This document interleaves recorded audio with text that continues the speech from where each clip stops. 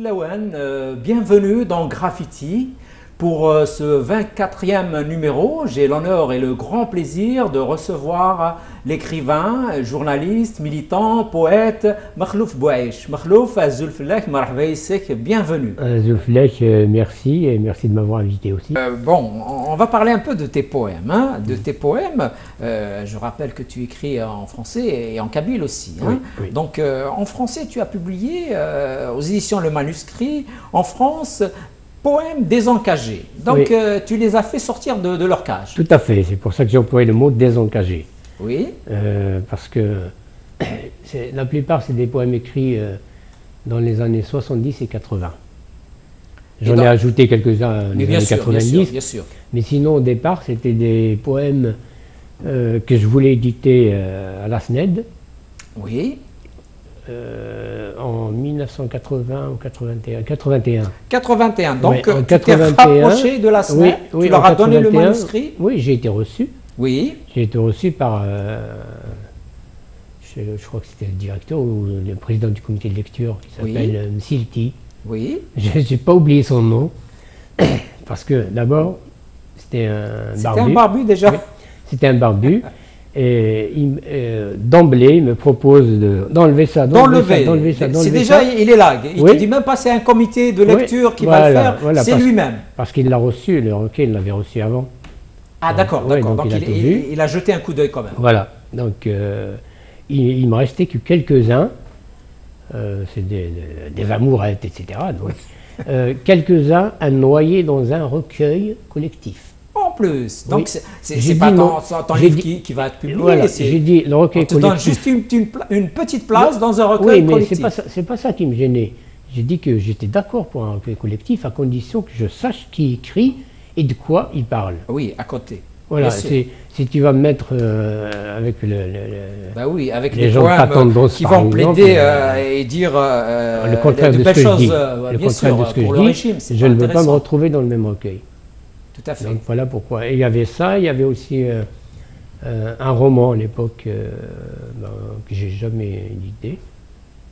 C'était. Bah, il, il sera pas C'était un amour aussi. Oui. mais un amour impossible. C'était un, un, ouvrier algérien et une française. En France. Ah, une histoire qui se passe en France. ça s'appelait Karim et Marie. Eh ben, il n'est pas trop tard de le publier. Et ah non, je l'ai plus, il faut, il faut le réécrire. non.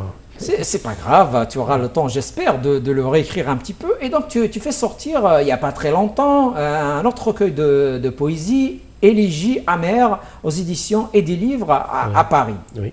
Alors, c'est des élégies et elles sont amères en plus. Ben oui, il suffit de lire pour voir qu'il y a de la ah oui, moi je l'ai lu, mais bon, qu'est-ce que tu, vas, tu, peux nous, dire hein, aux téléspectateurs hein, de, ces textes euh, vraiment très intéressants hein, et, Merci. Il y a de belles images, il y a une profondeur dans, ton texte. Et, la, thématique alors euh, La c'est la révolte. C'est un, peu de tout. D'abord la révolte. Voilà. Parce que moi je l'ai toujours au fond de moi, la révolte. Je suis rebelle de nature. Donc il y, a la révolte, mais il y a aussi, ben, par exemple, la femme. Aussi, bien sûr. en fait, tu as des, thèmes un peu récurrents hein, qui reviennent euh, pratiquement dans tous tes écrits. Hein. Ils sont, inépuisables. Il y a une lame de fond ils sont inépuisables, donc ils peuvent qui réunit un peu tous les écrits. Hein. Oui. oui.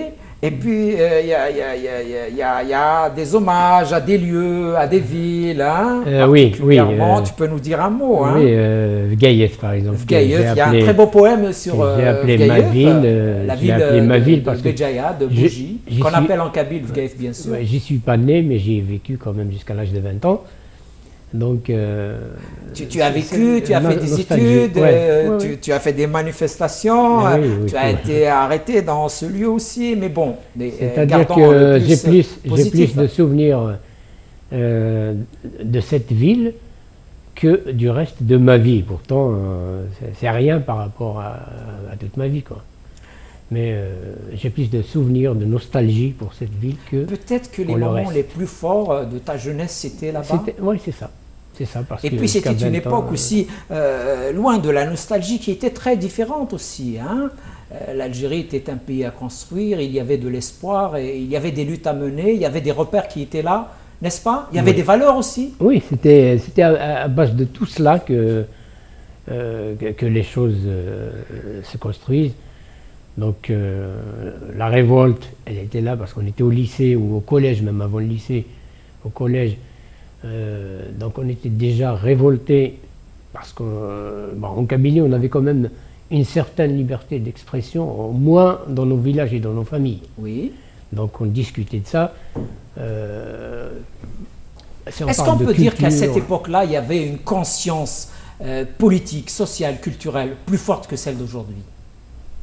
Euh, Plus forte, je ne sais pas si c'est plus forte, elle est plus forte. Par contre, elle y était, elle existait, la conscience. C'est-à-dire qu'il y avait quand même des gens qui faisaient de la conscientisation. Oui. Si on peut utiliser ce terme. des gens qui trouvait, euh, qui trouvait une oreille attentive, c'est-à-dire il y a une écoute.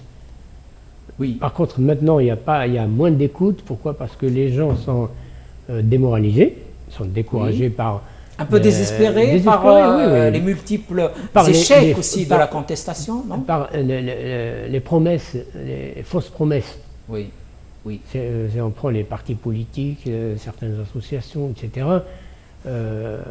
les gens euh, accourent pour des idées et à l'intérieur, ils ne retrouvent pas ces idées. Oui, oui, ils sont souvent déçus malheureusement. C'est la déception, exactement. Tout à fait. La déception. on arrive à la fin de l'émission malheureusement. Un dernier mot eh ben, merci, euh, merci à toi de m'avoir. Mais je t'en prie, mon ami.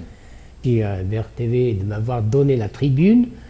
Et bien le bonjour à tous ceux qui nous connaissent, euh, qui nous connaissent famille, amis, euh, voisins, euh, collègues de travail.